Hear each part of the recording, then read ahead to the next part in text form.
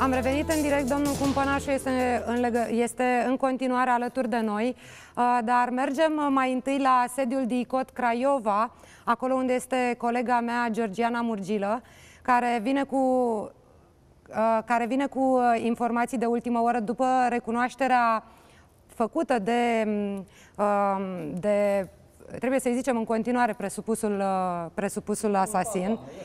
Inculpat. Formula corectă. Bun, inculpat. De către uh, inculpat, pentru că în momentul în care a făcut acea recunoaștere, probabil că urmează niște, uh, niște proceduri. Trebuie deja schimbată încadrarea, uh, încadrarea în crimă, pentru că până acum aveam numai, uh, aveam numai trafic de minori și viol. Georgiana, care sunt datele uh, de ultimă oră pe care le știi tu?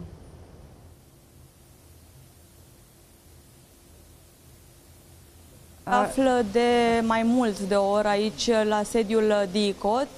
Acesta, evident, dă declarații oficiale cu privire la uh, faptele recunoscute, însă aceste fapte recunoscute vor fi însoțite, evident, și de detalii și de locul în care acesta a săvârșit aceste crime, exact filmul acțiunilor în ambele cazuri.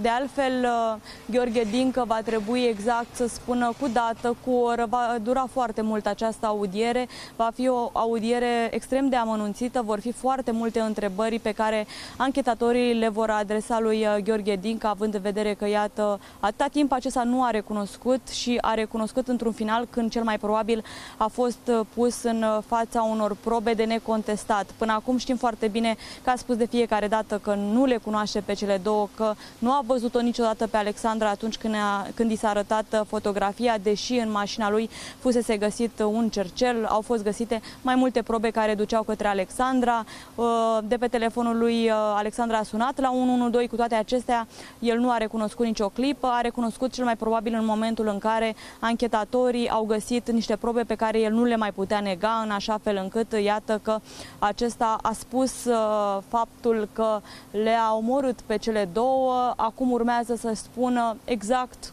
cum a făcut acest lucru și de ce a făcut acest lucru, deși nu există niciun motiv care să justifice așa ceva.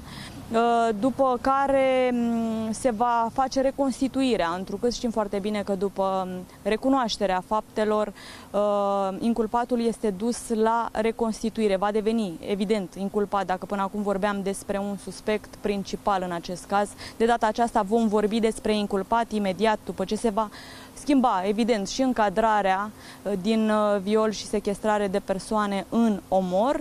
Uh, în așa fel încât apoi va fi dus la fața locului, acolo unde, evident, uh, anchetatorii caută de câteva zile probe pentru a spune exact uh, cum le-a adus pe cele două fete, unde le-a dus, ce le-a făcut și mai apoi să indice, evident, locuri. Toate aceste lucruri vor fi filmate de către anchetatori și fotografiate în așa fel încât vor constitui probe la rechizitoriul, rechizitoriul care va fi întocmit atunci când acesta va fi uh, trimis în judecată. Vă spuneam că este o declarație destul de lungă cea care îi se va cere uh, acestuia și această declarație duce la reconstituire.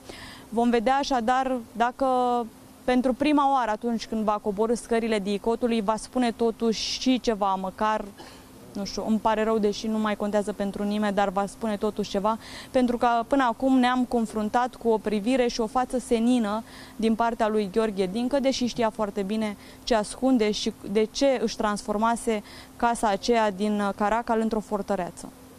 Mulțumesc mult, Georgiana. Domnule